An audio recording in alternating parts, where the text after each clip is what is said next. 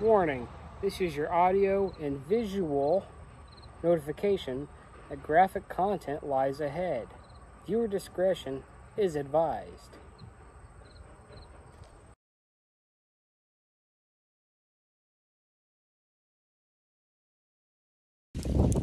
Look at these two dove I just shot. Stumpy nubs on both his feet. And this guy here is just nubs. They're supposed to look like this.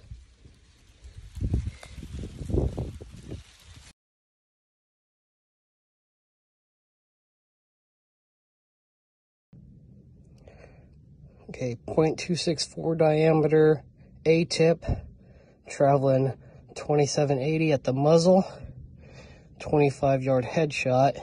It entered just in front of him below the eye, smashed everything in its path. The jawbone is broken and came to a rest just underneath the skin. And here is what's left of the A-tip.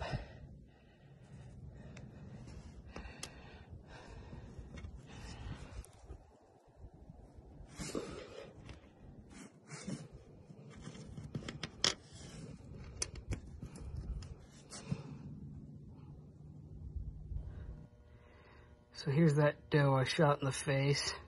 Again, there's entrance. And straight line back. The only piece I cut was right here, right underneath the hole. I found the bullet resting right here underneath the skin. But yeah, it took out the bottom of the orbital socket and then the whole bottom of the skull, smashing the, the jawbone, the upper leg of the jawbone.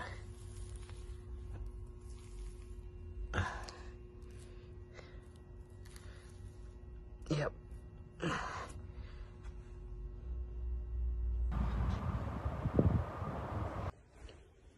Okay, 264 diameter, 135 grain A-tip initial impressions. I shot this song dog about 45 to 55 yards from my blind there. He was hard quartering to when I shot him.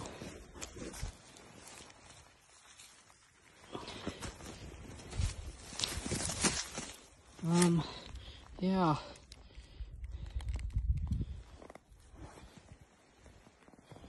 I'd say A-tip works just fine on coyote-sized varmints.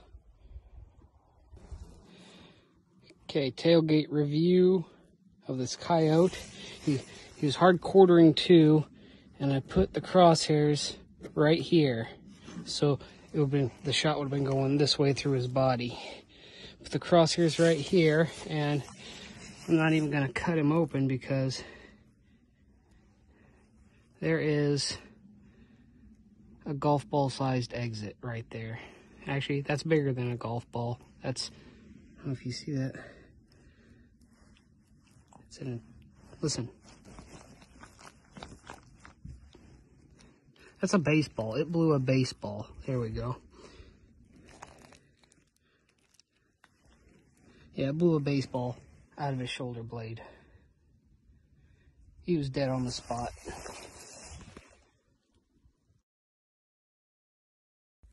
Norma 156 grain, round nose soft point, about 20 yards high shoulder.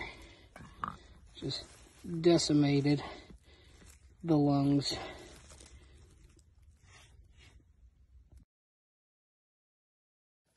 Here's your educational video. A-tips do not like brush. I was aiming right here. It broke that branch. Caught him right here behind the eye. Gave him a wobble antler.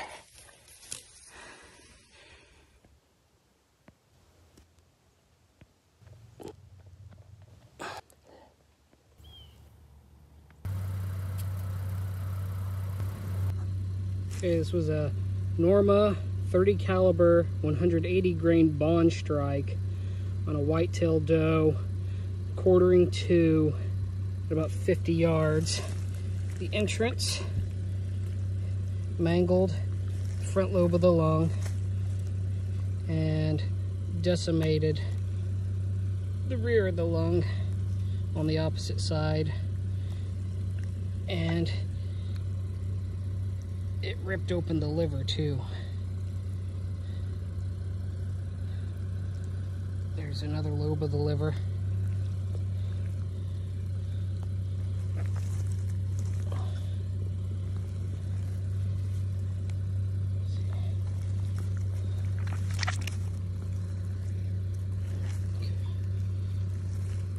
Esophagus, front lobe, track through to rear lobe and liver. And yes, it did open up some of the guts.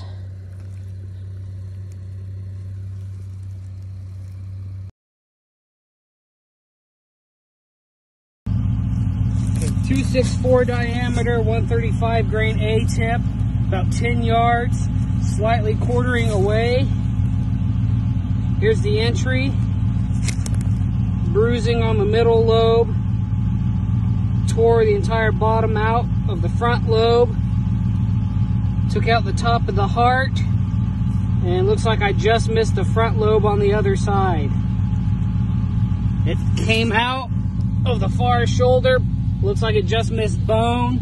There's a piece of meat hanging out when I first uh, come up to it, but I already cut that off. Okay. Okay, so we entered right here through muscle. Here's the exit of the muscle, and it's already expanded to about 9 sixteenths or 5 eighths of an inch. We entered, and my finger through the rib cage. Here we go. Through that muscle, we blew a, oh, like I said, we hit a rib, so that blew out. We're inch and a half this way and two inches this way up the rib. And after passing through the organs, we have a passed in between two ribs, so we have a three quarter inch wide by two and a half inch wide exit and then we come into here, exiting the rib cage where we broke the ball joint. This leg is completely broken. Yep. Pull out some some bone fragments. But that ball joint is gone up in here. Actually, might be able to pull it out. Nope. That tendon's still holding it in its socket, but the head of that scapula has been split completely off. But here's the exit wound pulled apart. And I can get it's about inch and a half by inch and a half wound in there where that bone is. There we go. Here's the bearing surface of the, part of the bearing surface of the scapula. Ball joint.